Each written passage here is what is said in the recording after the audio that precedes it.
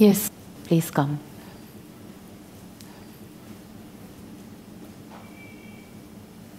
Ishmat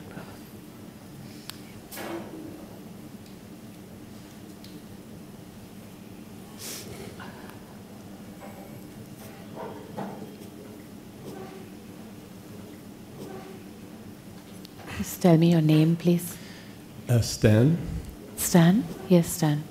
Years ago, one of the things I received from one of the teachers I had was to see if every action that I'm about to take would be for God or for the ego. And uh, I've been doing that largely for a long time. And in recent years, also have stopped actually sitting in meditation.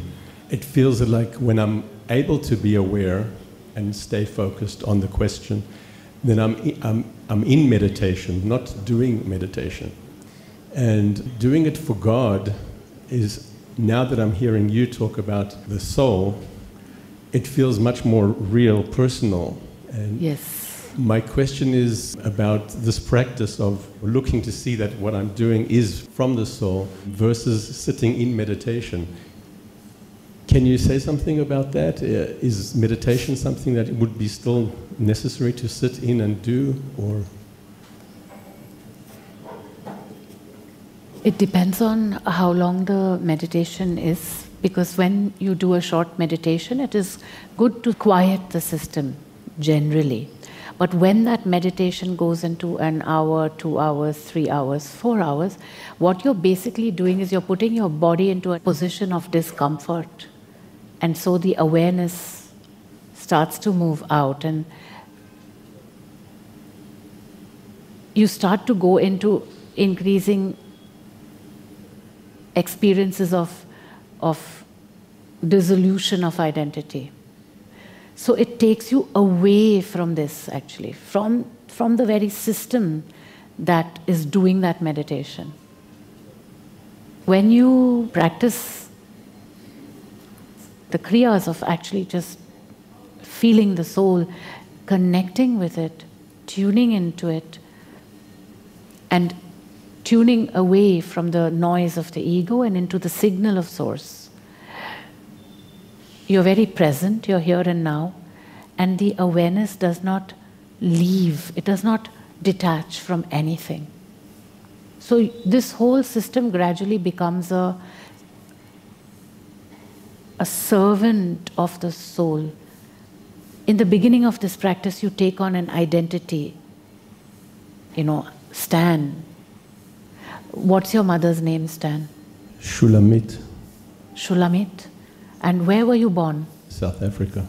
South Africa. So, Stan, son of Shulamit from South Africa, where in South Africa? Johannesburg.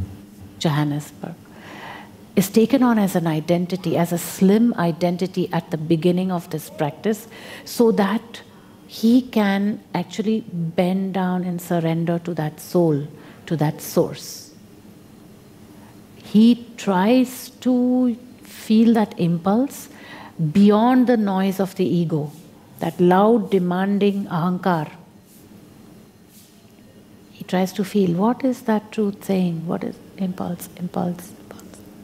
And when he is in this sadhana, he is in an active, continuous, lifelong meditation, which is this discerning acting, discerning acting. And at one point, what happens is Stan falls away, the doer falls away, and this thing becomes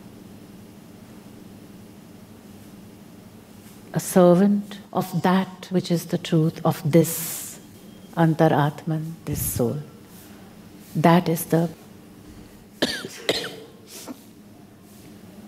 sadhana to be practiced, the practice itself. It's a very, very, very challenging yet interesting practice because you're present. You're not tuned out, you're not blissed out. The experiences of joy, it's not of this blissed out state. But it's present, you're real. She's real to me in this moment. So there is a contour, there is a coherence in the system which is unknown to those that are spaced out.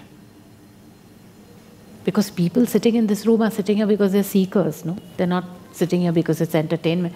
They're actually interested, otherwise, they would rather be outside there and have a coffee in a cafe. This, this call is the call to touch the truth with your fingertips, to feel this presence. It's a call. But very often that call is in the opposite direction from what should be reached. Any practice, extreme practice, will take you out, it won't keep you here. Whether it is the inquiry, who am I, who am I, at one point it's, oh, so I'm the one observing, and then the observer is observing the observed. Then there is another observer that is suddenly created in the thinking who is observing the observer who is observing the observed. Then suddenly there's another layer of an observer who is observing the observer, who is observing the observer, that is observing the observed, and it can go ad nauseum into insanity. And then, boom, the awareness leaves because it cannot handle the conceptual torture. And then samadhi states are experienced. So one doesn't want to come back into this torture. So one stays out there and detaches more and more and more from everything. I'm generalizing, of course, but.